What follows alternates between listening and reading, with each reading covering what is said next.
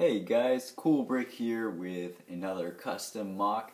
This is a rally truck, and in case you guys, uh, anybody out there isn't familiar with the sport of rallycross, it's pretty much uh, kind of hardcore driving, I guess.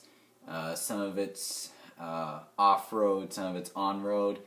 Um, not like bushwhacking kind of off-road, but uh, like dirt roads and stuff. And the point of it is basically to go from point A to point B as fast as you possibly can. And uh, usually they do it in um, either uh, modified, uh, highly modified sports uh, sedans, and they use like all-wheel drive cars and all sorts of stuff like that.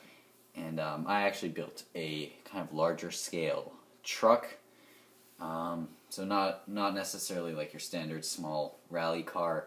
It's kind of a larger thing, maybe participating in a more bigger scale rally, I guess, like the Paris Dakar rally. Um, so anyway, that's pretty much a kind of background on what kind of a vehicle this is. And it is in minifig scale. Uh, there is a minifig in there. And as you guys can see, this has suspension uh, it has a loose suspension system, but there's also a stiff suspension system. And that's why I use these large tires actually, so I could install a stiff suspension system. Uh, so you can see uh, the, uh, I can push these down here, it's independent. So if I turn this, you can see I can do this on each single tire by itself. And uh, same thing with the loose suspension, I can do one wheel at a time. So it's a combination of loose and stiff, which is pretty cool.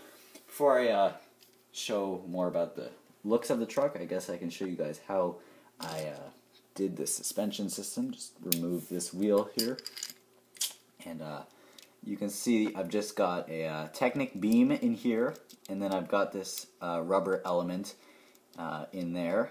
And so when you press down on this uh, wheel, that's the stiff suspension working right there, and the uh, looseness of uh, this beam is uh, the loose suspension.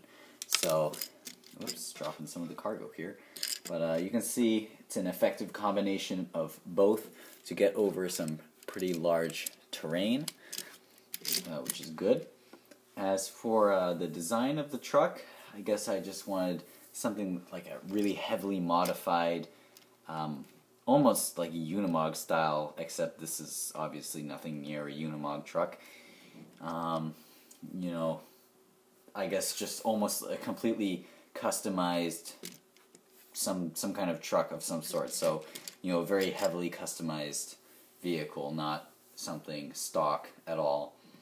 And uh, it has a nice color scheme to it. I'll go ahead and remove the uh, roof. Wow, okay. A lot more things came off than should have come off. Okay, there we go. That was what's, what's supposed to happen.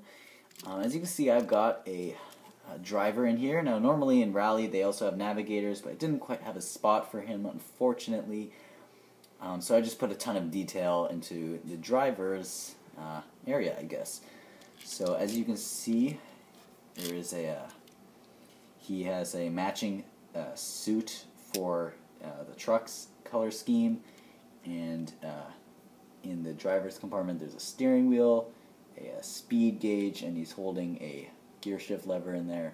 So lots of awesome detail in the cab. And in the back you can see there are some supplies, uh, walkie-talkie, there's some tools, fuel, and stuff, I guess. So I'm not, whoops. um, I guess you guys can kind of see how I built the different parts of the truck. Just a lot of SNOT building, studs not on top, a lot of that. Um, as I was saying in the back, we've got some supplies in this removable compartment here, and there's a hidden compartment underneath with a chain in case the truck gets stuck. So uh, I like that feature over there, hidden compartment. And uh, yeah, and I guess that's pretty much it for this truck. Uh, if you guys want me to do a tutorial on the suspension in case you couldn't really already see how it was done, um, I can do that. Just mention it below in the comments. And uh, thanks for watching, and as always, don't forget to comment, like, and subscribe.